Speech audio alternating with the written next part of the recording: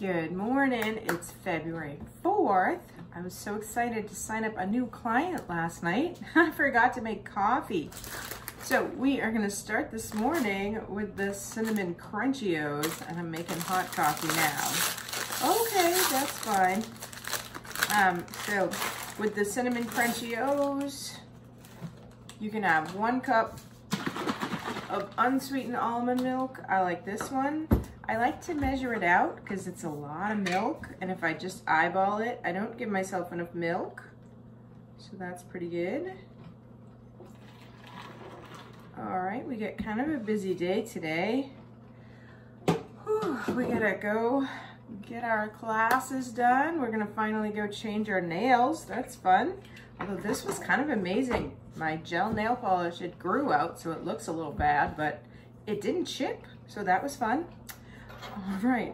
Um, it's the little things in life, especially during quarantine. Like, woohoo, my, my, my manicure didn't chip.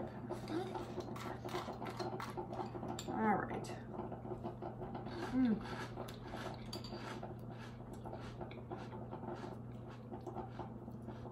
All right, I'm gonna enjoy my Crunchy O's, go get ready for school. I'll see you back here for second fueling. All right, time for fueling two. I made the cinnamon apple oatmeal. Came out pretty good today. We're doing client support calls, so we're actually running a little late. It's like 10.30 here this morning. Mm. Oatmeal's pretty good. Again, if you let it sit a little bit longer, the texture gets a little bit closer to oatmeal. And then if you nuke it a little bit to get rid of some of the extra water, it does help this out. I've been trying to work on my habit of motion a little bit. So for the month of February, I started doing 10 push-ups and 10 sit-ups. And then every day I try to add two. And then I got up to 24 and it got a little hard. Um, but today I did manage to do 26 push-ups and 26 sit-ups. And I must say, I'm ex-military and this shouldn't be this hard, but it's really kind of difficult. So if you are also working on your habits of uh, motion, let me know down below, like what little things you're adding.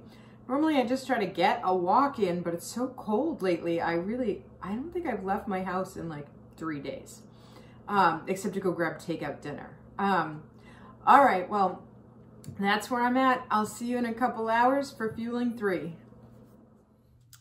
Time for third fueling. We're gonna have one of the cookies we made last night. So we mixed together the brownie, the chocolate chip cookie, and the peanut butter shake. I added two tablespoons of egg beaters and four tablespoons of water and made three fuelings, last night's dessert, this one, and there's one more for later. Pretty exciting. All right, I'm gonna enjoy my cookie fueling, get ready to teach my third and fourth period class, and I will See you for fourth fueling.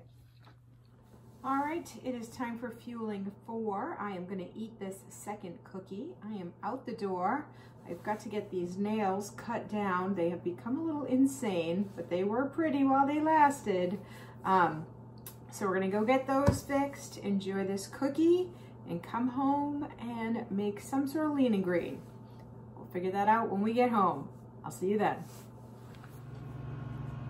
All right, I got my nails. I went with like a little wintry motif here. Um, so that's good. And they got cut down, so that's very nice. Because although I always wanted really, really long nails, when I finally got them, they were driving me a little bit crazy. So I'm glad we cut them down. Let's see, I made myself an egg white omelet uh, with a little bit of ham and a little bit of cheese in there. So that's different. And we're just gonna do cauliflower for our green. That's in the microwave right now. Um, mm. Mm, it came out really good. Okay. I'm gonna enjoy my lean and green and my cauliflower. And um, we'll figure out something for dessert. See you then. All right, I was talking to one of my clients today and she didn't know how to make the brownie candy. So we're gonna take uh, the brownie and just put it in a bowl. And then we are gonna measure out one fourth of a cup of anything. Water, decaf coffee. If you're not a thousand years old like me and you can still have regular coffee at night, go for it. I'm gonna use this morning's cereal milk, which is gonna make it extra delicious. So we'll measure out a fourth of a cup of that. Stir it up. And then I just have a million of these because I don't really microwave anything. So I'm just gonna cover the candy into the bottom of these two dishes after I mix this all up. And then I'm gonna stick it in the freezer for about 45 minutes. So I like it not to sit in the freezer too long because it gets too icy and then you lose a lot of the good chocolatey flavor. Um, so 45 minutes makes it a little mushy, which I kind of like, but uh, but but but solid enough that it kind of comes out. I don't know. I don't know. And you can decide how you like it. Some people make it in the morning and then they eat the candy at night because they like it more solid. I like it more mushy. All right, I'm gonna finish stirring this with both hands. I'm gonna fill the cups, stick them in the freezer, and I'll show them to you in 45 minutes. Alrighty, 45 minutes later, and we got two little dishes of chocolate candy, right? If you got the snack, uh, you can um, add some PB2 to this and make a peanut butter cup.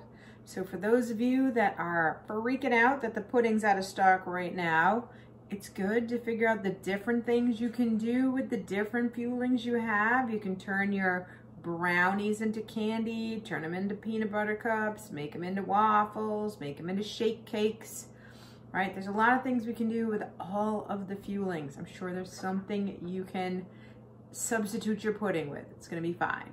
So this is my delicious chocolate candy for my final dessert of the night. Mmm. It's so delicious with the little yogurt chips in it, make it like super special. All right, I'm gonna enjoy my dessert. I hope you enjoyed these videos. Please subscribe to my channel. Drop some comments down below. Tell me how things are going for you, and I will see you tomorrow.